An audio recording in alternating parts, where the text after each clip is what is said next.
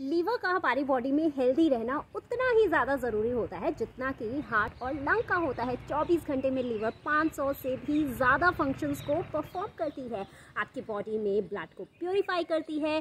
Toxins को बाहर निकालती है और इतना ही नहीं प्रोटीन को सिंथेसाइज करती है प्रोटीन की ब्रेक डाउन करती है एक्सेस अमाउंट ऑफ़ ग्लूकोज को स्टोर करती है और इसके साथ बहुत सारे हॉर्मोन्स को भी रिलीज़ करती है। फैट की डाइजेशन और एब्जॉर्प्शन में भी लीवर बहुत ही बड़ा रोल प्ले करती है। One of my client saying क्या हम liver detox supplement daily basis पर ले सकते हैं? Well my answer is big no no no five ways to naturally cleanse your liver number one you have to take enough amount of liquid आपको एक दिन में चार लीटर ऑफ़ पानी को डेफिनेटली कंज्यूम करना है और वो आपका फिल्टर्ड आरओ या फिर नॉर्मल घड़े का पानी होना चाहिए, लेकिन वो रूम टेम्परेचर पे ही होना चाहिए।